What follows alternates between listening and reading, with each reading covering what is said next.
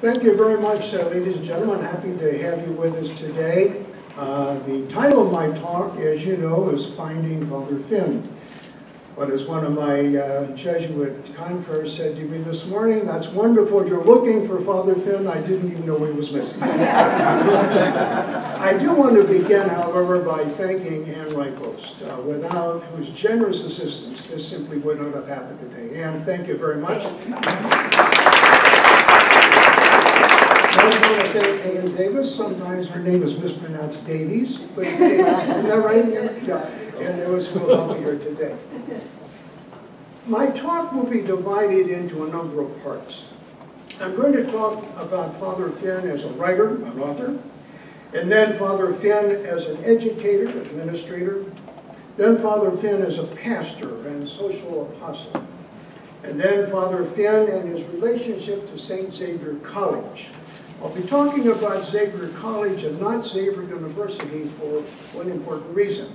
We did not become Xavier University until 1930, about 18 months after Finn died. So this will be a talk about St. Xavier College. And finally, I'll talk about Saint about uh, Father Finn, the person. But let me begin with a little biographical information about Father to put the talk in context. Father Finn was born in St. Louis, Missouri on October the 4th, 1859, just before the outbreak of the Civil War. His parents were John and Mary White Finn, and they had been born in little town called Ballinasloe, County Galway in West Ireland. In his autobiography, Father Finn describes his parents as poor, famine-stricken Irish immigrants. He had two sisters, and we have a picture of one of them. This is his sister, Teresa, who remained in St. Louis, lived her life there, and was a librarian for many years. Father also had a brother, a brother Louis. We have a picture of him as well. His brother Louis moved to Los Angeles uh, as a young man and lived out there and had a family out there. Father Finn, for a few years, attended a private select school in St. Louis. But in 1869, at the age of 10, he entered St. Louis University. Oh. You might say, what in the world's going on here? Age of 10 going to St. Louis University. Well, the fact of the matter is St. Louis University was called a university in 1869 because it had a medical school, a good medical school, and I think maybe at that time a law school as well. But the fact of the matter is St. Louis at that time was no more than a six-year high school.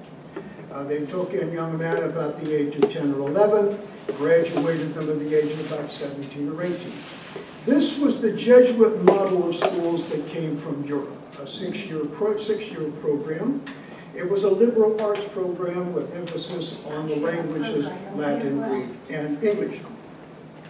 But one thing that Father Finn learned in St. Louis, which he was grateful a lifetime, he learned to be a voracious reader. Even as a young man, he loved to spend hours reading, novels mostly. He loved Charles Dickens and William Thackeray and uh, Washington Irving and people like Nathaniel Hawthorne. Read books over and over again. He claims that he read Nicholas Nickleby, one of Dickens's novels at least a dozen times. His parents thought he read too much, and they were probably right. That he was neglecting his other studies, and they were probably right, but there wasn't a whole lot they could do about it. Until one of his Jesuit teachers, Father John Crevel, once said to the parents, oh, let the boy read. Maybe he'll turn out to be an author. However, in his fifth or sixth year at St. Louis, there was a bit of a crisis. At that point, he was giving serious thought to entering the Society of Jesus, becoming a Jesuit. But he heard the rumor that one of the high-placed Jesuits at St. Louis University had doubts about his suitability as a Jesuit. And the Jesuit was quoted as having said, well, Frank Finn is a nice young man, but he just doesn't have the brains to be a Jesuit. I'm sure my Jesuit brothers here are delighted to know that it takes brains to be a Jesuit. In a bit of a panic, Father Finn, young Frank Finn at the time, consulted with a Jesuit whom he admired a great deal, Father Charles Coppens, who was the director of the society at the time, and told him about this problem. Well, Father Coppens calmed him down, and he said to him, Frank, the problem is this. You're neglecting Latin. You have to know Latin, and this got all over the school, you know Latin. So I'm going to tutor you in Latin, and I'm going to do something else. I'm going to give you prayer books in Latin. I want you to read these, which he did. Being a reader, he read these books and read them over again. Well, it worked. To the, at the end of that particular academic year, they had a competition in Latin, as they do in all Jesuit schools, and to everybody's surprise, Frank Finn won first prize in the competition and got a special award at commencement. And he says in his autobiography, needless to say, that's the only prize I won at St. Louis. But in July 1877, he did enter the Jesuit novitiate. I think we have a picture of the bishop. He entered the Jesuit novitiate uh, at Florissant in, in uh, Florissant, Missouri, and uh, uh, really a suburb of St. Louis. He didn't really travel all that far from home. The novitiate is really a two-year program where young men find out whether they are really suited to the Jesuit way of life. It's a time of prayer, it's a time of reflection, during which, among other things, the uh, young Jesuit makes the spiritual exercises of St. Ignatius for 30 days, which uh, Father Finn did under the direction of a very saintly man, Father Isidore Boudreaux. However, after 14 months in the novitiate, it became clear he simply could not go on because his health collapsed. So he left the novitiate for a period of time, hoping to recover his health, which he did apparently. And he came back to the novitiate in March 1879 and took his vows in March 1881. In 1883, he was transferred to Woodstock College. Uh, this was the Jesuit philosophy and theology for the United States at the time. Uh, it uh, is located really in the suburbs of Baltimore. And in his day, at the time he was there, it had a rather fine reputation. Because of political upheaval in Europe, a number of rather notable Jesuit theologians were exiled from Europe and actually settled at Woodstock. So it was a rather distinguished faculty. But that really didn't help Frank Finn a whole lot because his health was precarious once again. However, during the first year there, he did something interesting. He wrote three short stories, which he was rather proud of. But the fact is, his health collapsed again, and he was uh, simply could not go on with his studies, and he was sent by his superiors to a Jesuit boarding school in Kansas, St. Mary's, Kansas, where he was going to teach and prefect. And that's what he did. He says that when he got to St. Mary's, Kansas to teach in the fall of 1844, he was a physical wreck. That's the way he described it. But the three stories that he had written were his pride, and he decided to do something. He showed the three stories to a rather eminent Jesuit professor of rhetoric at St. Mary's College.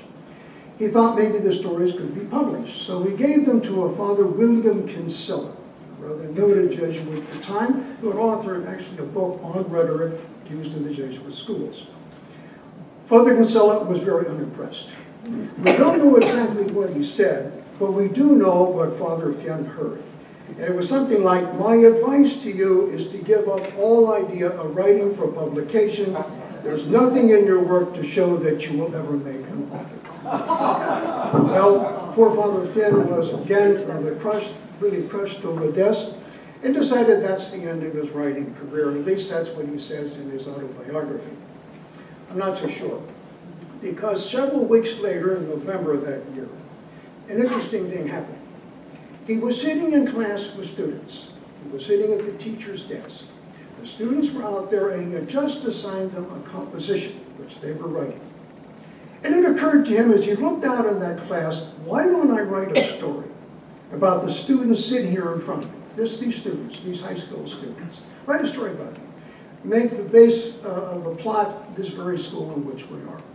So he took a piece of paper, got a pencil, and started writing a story, just writing the story, fast as he could. At the end of the period, he had this story, and he read it to the students, and they loved it, absolutely loved it. He was suffering from a great deal of insomnia at the time. And so, as a result of their enthusiasm, he continued to write this story at night. Frequently not able to sleep till about 2 in the morning, he was writing more and more stories. And he told the students, he said, if you're good, and if you study hard, I will read for you at least once a week another chapter of the story. Well, they loved it, and that is how Tom Playfair, his most popular novel, got written, uh, really through that period of time. He, uh, as I said, was in bad health, but nonetheless, in 1886, he returned to Woodstock College to begin, to re resume his philosophical studies. He was there for two years, and then in 1888, between uh, philosophy and theology, Jesuits normally teach for a period of time, and he was sent in 1888 to Marquette College in uh, Milwaukee, today Marquette University and he taught there for two years. I think, Ann, we have a picture of him. I can't see. Is that uh, him with students? Yes.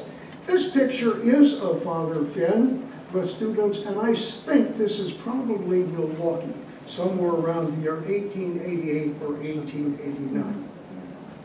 He returned to Woodstock in 1890 to begin his theological studies, which he completed in the year 1893. And in 1893, he was ordained a priest. I think this is, yes, this is a priestly ordination, pre-Vatican II, incidentally. It's a picture from a later period, but it is an ordination, and it is in the chapel in which Father Finn was ordained uh, at Woodstock College. Notice how many people are being ordained there, by the way, quite a number. The picture itself dates from about 1940 but it gives you an idea of where the ceremony took place. Yeah? He was ordained by Cardinal James Gibbons, uh, who is a noted uh, figure in the Catholic history of the United States, a very important person. I thought he was the first man appointed cardinal, but that's not true. Cardinal McCloskey of New York was the first, but he was second. There's an interesting story, and I'm going to just digress very briefly to tell you. The story is, and I don't know what is true and what is not true here, the story is that Cardinal Gibbons was invited to Cincinnati by our alumni to speak at our alumni banquet around the year 1890. The story is that he came and spoke. One of the morning newspapers the following day talked about this wonderful speech that Cardinal Gibbons had given, in which he reminisced about the wonderful days he had spent as a student at St. Xavier College in Cincinnati in 1855. And that the years in passing have not effaced these wonderful memories. One of my predecessors as archivist has a little note under this little story. There is no evidence that Cardinal Gibbons ever attended St. Xavier College. so, but we do know this much. Whether ever he was here as a student, he certainly or, ordained uh, Father again in the year 1890.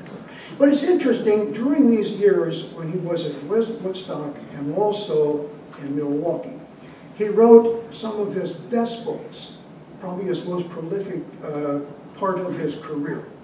Because in 1890 he published Percy Wynn, which I think may have been his favorite novel. I'm not 100% sure, that, that's a feeling I get from reading what he said. The following year, he published Tom Playfair, the, the book they did written at St. Uh, St. Mary's. And the same year, Harry Dee, another very popular book of his. And the following year, a fourth book, Claude Lightfoot. They were immensely popular, popular. And Tom Playfair was actually translated into about 10 different languages. It, it, it, it was not only popular here, but throughout the world as well. And so by 1893, when he was ordained, he was a rather well-known literary figure. And move on, if we could. In 1897, he was assigned to St. Xavier College here in Cincinnati, and I think there's, I can't see it there, but there should be a picture of it. And this might take, uh, let me just talk about the building for a moment. On the left, of course, this is 1897 now, on the far left, on the far left is St. Xavier Church, pretty much the way it is today. It was built in 1859. It was consecrated in January the following year, 1860. It was devastated by a terrible fire in 1882, which is an interesting subject in itself. Rebuilt and rededicated 13 months later, and as I say, pretty much the same church today. The school building that you see there was the college to which he came. Now this was located on the west side of Sycamore Street, between 6th and 7th Street. And the school building itself was built in three sections, three parts, over a period of about 24 years. On the far right here, which is where 7th Street would come into, was the Jesuit residence. That's where Father Finn would have lived. The school building is between the residence and the church, and that's where he would have taught. He taught for four years in what was called by that time the collegiate department of the school. But his health failed him again, and he left teaching really for good. In 1901, he was appointed associate pastor of the church, but more importantly, he was uh, appointed the director of the grade school. And I think we have a picture of that here. This is St. Xavier Parochial School, grade school. It was the parochial school of the parish that you just saw. It was also on Sycamore Street, but it was a block down toward the river. It was between 5th and 6th, and it was on the other side of the street. And uh, the time that he came, it was a relatively new building. It had just been built in 1895. In 1904, in addition to running this school, Father Finn established what he called the St. Xavier Commercial High School for young ladies and was uh, operated in the very same building. And it was a wonderful idea. This was an opportunity for young ladies having finished grade school to train for work in an office. They were learned all kinds of secretarial skills, typing, uh, bookkeeping, and so forth. Very popular, and it remained in existence until 1960. In 1913, he did research, once again resume his, his writing a little bit, but his last years, his health was failing very badly, the last three years of his life. And uh, Father Finn died in Good Samaritan Hospital here in Cincinnati on All Souls Day, November the 2nd, 1928. His autobiography, a very important work, was published posthumously the following year, called Father Finn, the story of his life told by himself for his friends, old and young. That's a rather long, but that's my bibliographical, biographical introduction. I'd like to talk now about Father Finn the writer. Father Finn published 27 books. For a sick man, that, that's really remarkable. Most of them were novels for young men and young girls, adolescents. But he also wrote plays, religious skits, other things that were performed by the children in the school. And he also edited for many years the parish calendar, the bulletin, St. Xavier Church. And it was popular. People picked it up. It was always fresh and interesting. Sometimes he may have a book review of some new book on a saint, life of a saint, or maybe something on prayer, or perhaps the review of a movie. He loved movies. But people loved to read his work. But it was his novels that were most popular. What was his secret of success in his novels? Well, I think maybe I can summarize it this way. First of all, he knew his audience. He wrote for adolescents, and the, the subject of his play, of all his books, were adolescents. He knew them and he understand them, he understood them, and he loved them just for what they were. His stories were full of action. There were, there were a lot of adventures, the type of thing that would appeal to a person. But his characters were real, and his, his, his readers could identify with them, and, and did. But also he wrote in the lingo, the language, the slang of the students, and caught their attention as well. But at the same time, in his novels, through, throughout, pardon me, throughout, there was, it was very, very clear that you run a Catholic institution. All Catholic practices and devotions were made very, very clear. And of course, there was always a strong moral. But Finn felt a moral was necessary. It appealed to the idealism of younger people, and that was part of his appeal. He was really, in many, many ways, a pioneer. There was really nothing else in the genre quite like this. And that's, I think, added to his popularity as well. And I think we have a couple of pictures there. Yes, this is a picture of Tom Playfair in his first edition in 1891. And this is Tom Playfair in Dutch, one of the 10 translations of the book that was done. But let me read for you, if I may, what some of the critics said about his books. I think this is interesting. This has to do with Claude Lightfoot Monod. Father Finn's characters are real and very human. Sometimes they're bad, sometimes they're good, but they're always human. Or another critic wrote, there is humor and pep. Okay, thank you. This is another critic. There is humor and pathos running through every line of Father Finn's works, but a shade of dullness never. This is an interesting one about Percy Wynn. I have read and reread Percy Wynn, and I am going to read it again. Of all the books I have read for the last 40 years, none has given more more genuine pleasure than this beautifully written little book. Almost every page makes one laugh and cry at the same time. Another critic.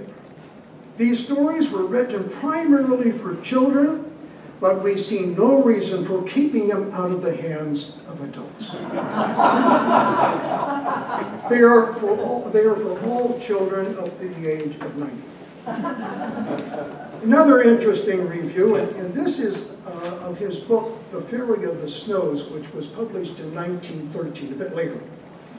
Review said this, Is it merely one form of a common illusion that we think Father Finn's latest book is his best? It seems to us that The Fairy of the Snows has greater depth, emotionally and intellectually, than Father Finn's other novels with a surface humor, richer, happier, and more tender. The critics. But there were a few who had some doubts. And this is interesting. And I think we can move to the next. Before Father Finn had published anything at all, back in 1887, he submitted Tom Playfair to Father Provincial of the, of the uh, Missouri province. He said, I think this is Father Rudolph Meyer. Incidentally, a rather important figure in the history of the Jesuits in the Midwest. A man who played a very big role in the formation of Jesuit education around here. But at the time he was provincial.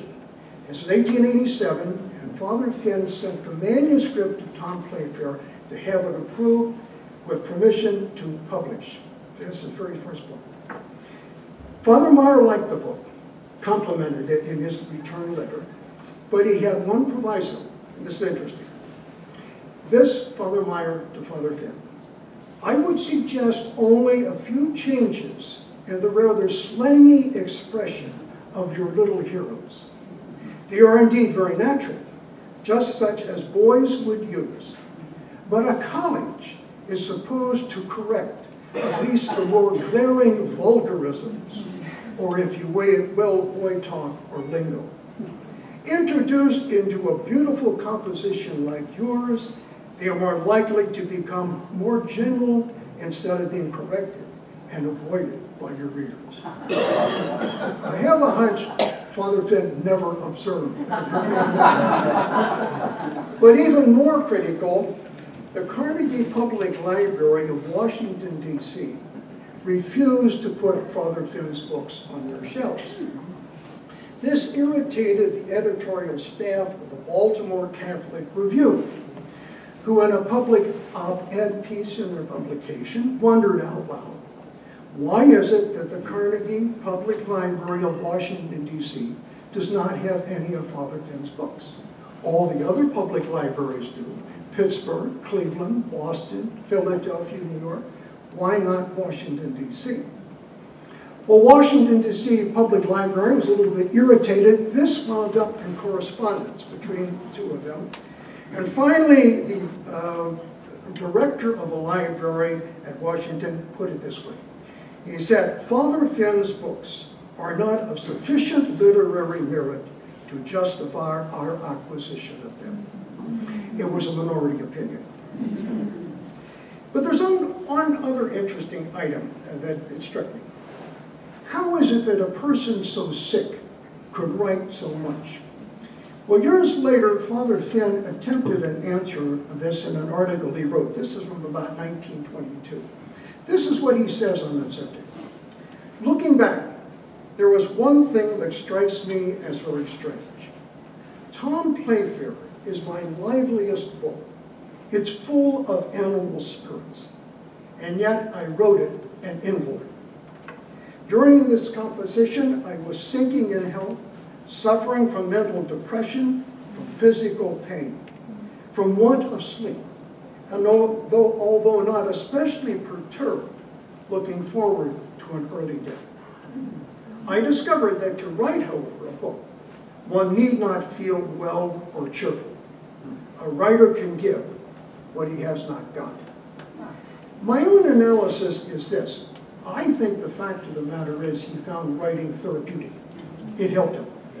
It, it took his mind off his pain and off of his suffering. I think that it really was part, and it certainly filled up those many hours of insomnia. It's interesting that in his autobiography, he really doesn't explain his illness all that much. There are times when he describes severe back pain. There are other times when he talks about respiratory problems. And one is a, a suggestion that perhaps he suffered from tuberculosis, although I don't think that was true. He certainly suffered long periods of insomnia.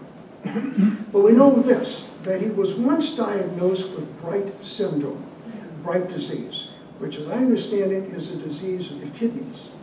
And we also know that he died of chronic nephritis, which is also uh, maybe the same disease of the kidneys. So I think kidney problems probably played a very major role. But whatever the story, uh, he was a very sick person much of his life. To move on now to Father Finn as educator and administrator. And I think we can change pictures again. Are we back to, uh, yeah, Eyes must have rolled, and a few um, sighs must have been uttered when people found out in 1901 that Father Finn had been appointed the director of the parochial grade school. Because it was a huge school, 1,500 students at the time and it was failing. It was in very bad shape. But here was this sick person who couldn't teach anymore. This person's only accomplishment was writing fairy tales for children.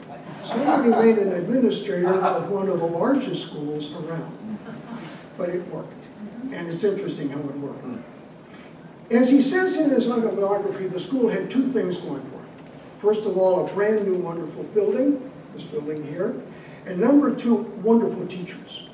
The sisters of Notre Dame de Namur taught the girls, and the brothers of Mary taught the boys. And as Father Finn said, I had a wonderful faculty, and they came at a very, very good price. But he was proud of them and proud of the work, but it didn't solve his other problems, which were severe, and namely financial problems. To understand this, you have to understand how poor St. Francis, St. Xavier Parish was at the time. Yeah, I think the next one. Yes. This map will help to you, for you to get a better idea uh, of what the parish was at the time. St. Xavier Parish is really just off the map at the top here. You can see the Ohio River, and you can see just about everything else maybe east of Sycamore. Now that area today is occupied by I-71, Fort Washington Way, Great American Ballpark, US Bank Arena, Yeatman's Cove, uh, Sawyer Point, Bicentennial Commons, all that. Take all of that out of your imagination and put in its place old, run-down, overcrowded tenement buildings, almost all the way down to the river. That was St. Xavier Parish. And that's what, what he had to deal with a great deal of pre-stark poverty. And he was running a school for these children. The, most of the people in this area would have been Irish, very poor Irish, very recent immigrants. But others as well. There were 21 different nationalities in the school uh, in 1904. So it, it was pretty heterogeneous, and uh, it was made up, as I say, mostly the children of immigrants. The Germans moved elsewhere in the city because of their language background. They moved to, over the Rhine or to the western area. But this was what made up St. Xavier Parish at the time. It was called the Bottoms. The Bottoms were the, the city's lower area. And of course, as I mentioned, the school was huge as well. Well, how did Father Finn succeed in dealing with this? Well, as it turned out, he was a rather shrewd, savvy, savvy businessman, and he went about it rather cleverly. Working from his reputation, the fact that people knew him well as an author, he gathered around himself a group of laymen, and they were going to help him pay for the school. And with her help, he set up what he called the St. Xavier School Association, a rather prestigious title for a great school, but that's what he called it. And he described it this way, and I'm going to quote now what he publicized in the stationery of the St. Xavier School Association. Its object, to give free schooling to the children of the parish. Its means, contributions monthly or yearly from members. Conditions of membership, payment of at least $3 a year, or if you could afford it, $100 a year bought you perpetual membership for the living or the dead. And the benefits were two masses said for the members every week. This worked. He gathered the money that he needed. He made the school free. He became the first free parochial school in the Archdiocese of Cincinnati. And eventually he uh, actually endowed the school. And money really never was an issue thanks to his business ingenuity. Now to talk maybe a little bit about Father Finn, the pastor and the social worker. Uh, and I think we have another. This is a very interesting picture. I think it dates from about 1918. You can see Father Finn in the front row there, in the middle. I believe he's in the middle there. I can't see it myself. But the two people in the back row are also significant. On the left-hand side, as you look, there is Father Joseph DeSmet, who was pastor of St. Xavier Church for a number of years, much loved. On the other side is Father Michael Ryan. And I really want to find out more about uh, Father Ryan. He ran for many years what the parish called its free, free day nursery. It operated a day nursery for all the children uh, of the parish. It was operated in what became the uh, rectory of the church for many years. It was just to the south of the church building.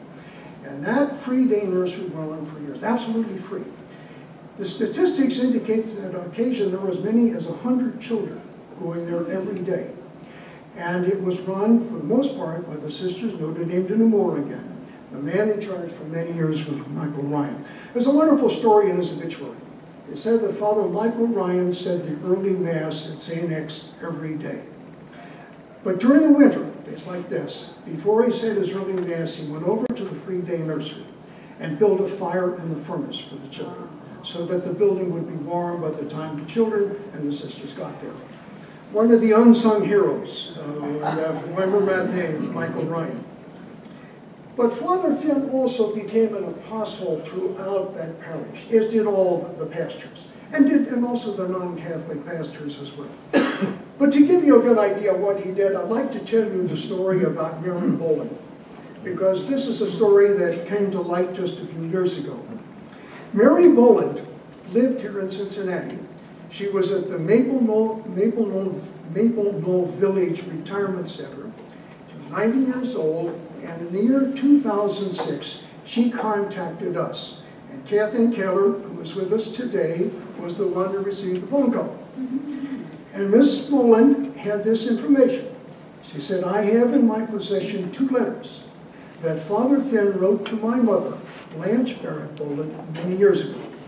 Would Xavier University like to have these letters? Catherine knew we sure did, and she went and got them. Well, the letters are wonderful, but the story behind it is even better. This is the way Mary Boland told us the story about her mother, uh, um, Blanche Barrett Boland. When Blanche Barrett was 15 years old, She and her siblings were living in the bottoms, the basin, where we just saw a picture of. They become, became orphans. Their parents died, and Blanche Barrett decided that she was going to take responsibility for her siblings, and she was going to take care of them and set up a flat in one of the tenements for them. Under the supervision of two maiden Irish aunts who lived nearby, but not under the same roof because they were too bossy.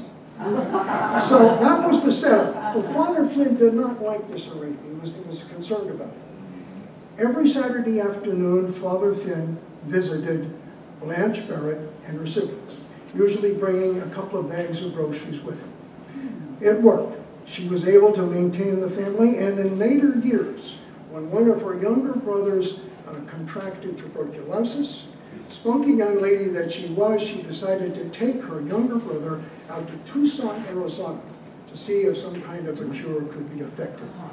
One of the two letters that Blanche Barrett uh, received from Father Finn is during that period when she and her brother were out in Tucson. And the letter is cute, it's about this big. And it reads, Miss Blanche Barrett, Tucson, Arizona. And she got it. Must have been a lot of people in Tucson, Arizona in those days. With a two cent stamp as well. But Father was known, Father Finn was known for his work throughout the bottoms. And um, one of the Cincinnati newspapers featured him in an article at one point. In that article, one gentleman, simply identified as a Jewish gentleman, had this to say. He said, to do good is Father Finn's religion, and that's fine with me. A Protestant gentleman quoted in the same article said, Father Finn is a prince of the Church of Good Hearts, and I tried to be a member of that church in good standing. But perhaps even more to the point, the Reverend David McKinney, retired rector of the First Presbyterian Church of Cincinnati, had this to say of Father Finn at the time of Father Finn's death. I quote, No man was better known in the basin of the city than Father Finn. I came into contact with him numerous times while doing charity work in the lower sections of the city. He was especially kind to the little ones, and his death will be felt keenly by many youngsters. What a tribute to Father Finn, and incidentally, what a tribute to, to the Reverend McKinney as well. Father Finn was very active in what was called the community chest. Uh, Roger Fortin says in his book that he helped to found the community chest in, here in Cincinnati. Community chest still, still exists, but now it is called the United Way. There's a rather interesting letter in our archives. It's a letter that Father Finn wrote to the parents of the students in the parochial school. And then he said he hoped everybody would support the community chests, the rental drive. It wasn't Catholic, it wasn't denominational, but they did wonderful work for the poor and the needy. And it was his personal wish that every student in the school, the grade school, would contribute at least one penny to the annual uh, collection. And uh, they did hook up an election every year. Uh, and an indication, too, of the kind of person he was. I'd like to talk now about Father Finn and St. Xavier College. As I mentioned earlier, he came to Cincinnati in 1897 in order to teach at the college, which he did. He taught in the, what was then called the uh, collegiate division, collegiate department, and also in what they called at the time their postgraduate program, taught, taught literature courses. But again, his health failed him, and he then moved on to the work in the parish and the grade school. In 1913, he did help the college to establish its School of Journalism, which it had for a number of years. But his most important work for the school was done as a member of the Board of Trustees. He was appointed to the Board of Trustees, first of all, I think, because he was regarded as a very wise person whose advice was really solicited on every occasion. And it's clear he exercised influence. When the Jesuits were trying to decide whether to move the school from downtown out here, move the whole school out here, maybe move part of it, but one of the people they really consulted was Father Finn. His opinion counted for a great deal. Of course, we know, I think now we're ready for another one. Yes, maybe then we move on to the next one, I think. Yes. Yes.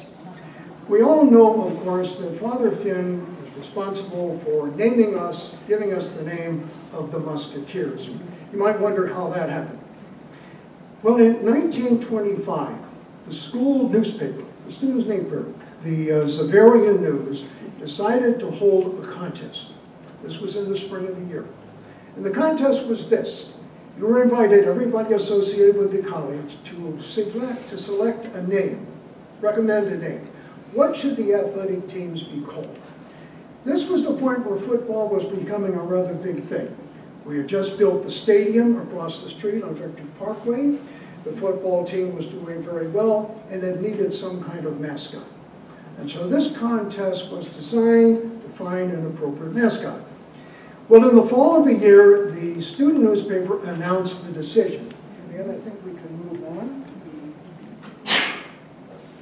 Yes, you can see the headline there. I can't read it myself. Trustee selects the name of the uh, college. Can you read that there? Well, that's what happened. The winner of the contest was none other than Father Francis Finn, and he recommended Musketeers. His reason for recommending it was precisely their slogan. Their, their, their slogan, all for one, one for all. And uh, it was accepted, and we have been the Musketeers ever since. That was the work of Father Finn. But something I realized only as I began to do a bit more research, he was always also very much involved in fundraising. I didn't realize that until just a few months ago. And maybe if you just turn to the next picture there. Yes, oh yes, this is a picture. I can't see it. That supposedly Father Finn is in the background there. Can you see that? That's he with the football team. And that would have been out here mm-hmm. because the football stadium at, at, was out here on campus. And this, yes, this is a picture of Elet Hall. It's a rather interesting story behind this. In 1924, Xavier College just completed building its first dormitory, which was Elet Hall. Perhaps some of you did not know it was the first dormitory here on campus and this is a picture of it. In 1924, the question came, what should the building be called? What should we name it? Well, there's an interesting exchange of letters between Father Brockman, who was president in 1924, and his immediate predecessor, James McCabe, who had just left the year before. McCabe knew all about this building. He had helped to put it up. In a letter from McCabe to Brockman, we have this interesting comment. In regard to the name of the dormitory, I believe Walter Leibold suggested the Francis J. Finn Dormitory. Unless Finn demurs, I think that should be the best name as he has done so much to raise the funds. I never knew that. Uh, a lot of the fundraising for this building was the work of uh, Father Finn, as it was, I suspect, for other, other buildings and other projects. But it's also interesting yet, if we move on to the next picture, four years later when the Schmidt Field House was dedicated, this is the Schmidt, the same topic came up, what should it be called? What should we name it? In a letter to Father Brockman, the chair of the athletic department, or the athletic board, wrote this, and I quote, Father Finn, as you know, suggested the name of Musketeer, and I feel and believe that the athletic board feels that Father should, Finn should be properly memorialized by naming the field house the Francis J. Finn Field House. That never happened either. But it's interesting the thinking of people. Finally, let me talk about Father Finn the person, because I think this might be the most interesting. Miss Florence Moran, who was the secretary for Father Finn in the grade school for many, many years, made this remark. Father Finn never grew old. He loved children, and children always came first. And they loved him in return as only children can do. He seems to have had a very amiable, affable personality, unpretentious, unassuming.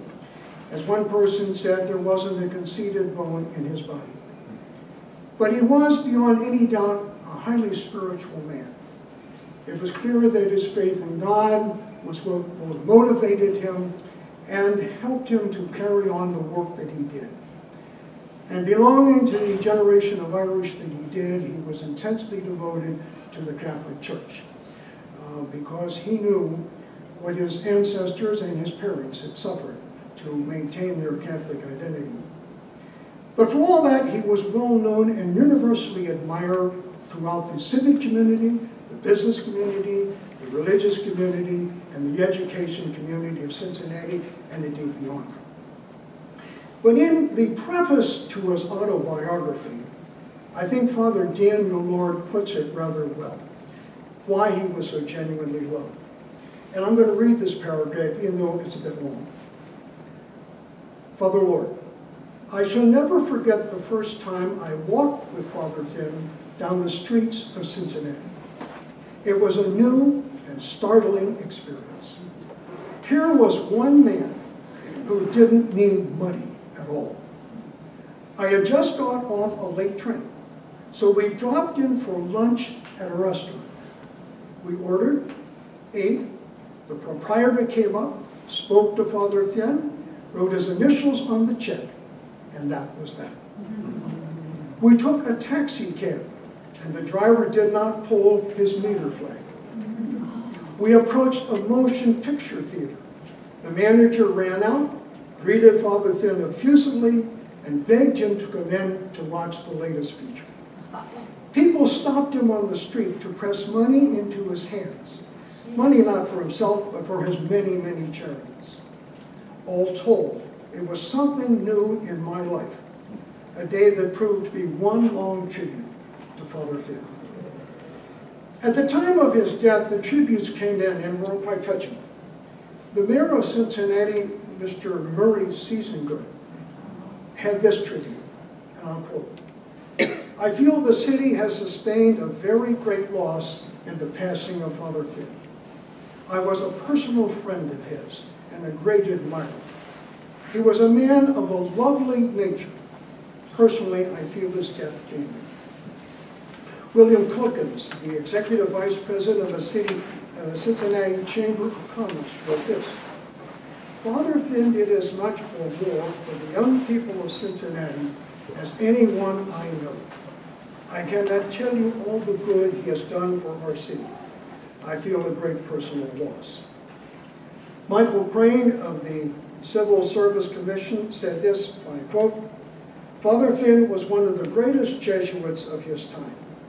I have never known a religious in whom the active life and the contemplative life were so beautifully blended. I have lost a very dear personal friend. About a week after Father's death, a gentleman by the name of Ron Mulford, who identified himself as simply Presbyterian, wrote a letter of condolence to Father Brockman. Uh, and he said, I quote, on several occasions, Father Finn and I found each other on the speaker's table at a banquet.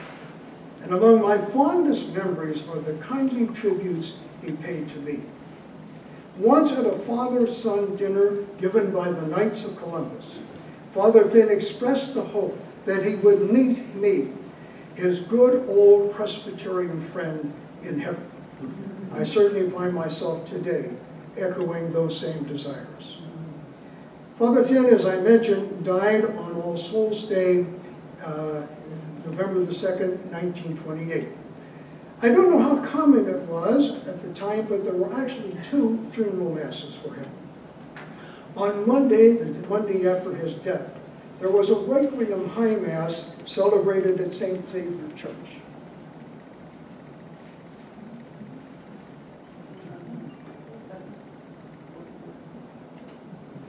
It's a picture of Father, uh, yes. There was a, a mass celebrated uh, in St. Xavier Church by Father Hubert Brockman. I wanted a picture of him. He celebrated this special mass. And uh, incidentally, uh, Brockman Hall is named after Hubert Brockman, another one of the heroes in Xavier history. This particular mass, however, was for students and children only. And the guest list included the students from St. Xavier College, Liberal Arts, the College of Law, the School of Commerce, which was the evening school, St. Xavier High School, the Xavier Commercial School, the young ladies, and of course the children from St. Xavier Parochial School. That Mass was just for the children, I suspect it's the one he really appreciated. The following day, there was a a pontifical Requiem High Mass, which was celebrated by His Excellency, the Archbishop of Cincinnati, John T. McNicholas. And there's a picture of him here. They say it was the largest funeral in the history of St. Xavier Church, at least so far as anybody can remember. One woman who came mentioned afterwards she arrived 45 minutes early, but the best she could do was standing room in the vestibule.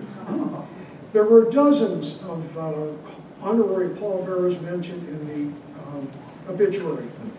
And uh, there was no eulogy, at the time, though at the end of the Mass, Archbishop Nicholas paid a brief tribute to Father Finn. We also have a picture of his obituary card there. Take that and look at as well. Father was laid to rest uh, in St. Joseph's New Cemetery in Price Hill. Can you play, find any place better to be buried than that?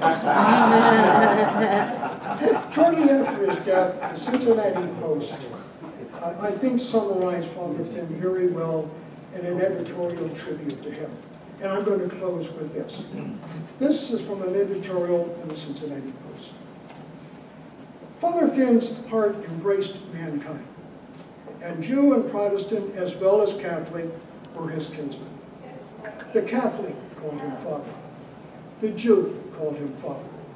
The Protestant called him Father in deference to the loving kindness, the gentle voice, the mellow wisdom that were his distinctions.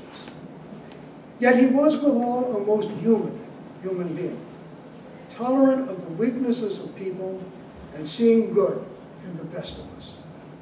There is much written about his merits as a writer of books, but the Reverend Francis J. Finn will be remembered best by his qualities as a noble gentleman. Someday I hope somebody writes a biography of Father Finn because he deserves it. And maybe a fitting title would be Francis Finn, a noble gentleman. Would you think of a better, uh? Thank you very much.